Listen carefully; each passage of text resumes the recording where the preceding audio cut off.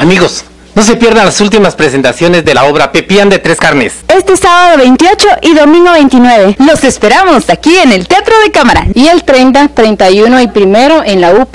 Estaremos en la UP el 30 y 31 de octubre a las 20 horas y el 1 de noviembre a las 16 horas y 20 horas. Haciéndoles la más cordial invitación para que no se pierdan.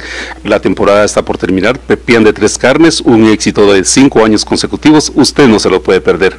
Amigos, no se pierdan las últimas presentaciones de la obra Pepían de Tres Carnes.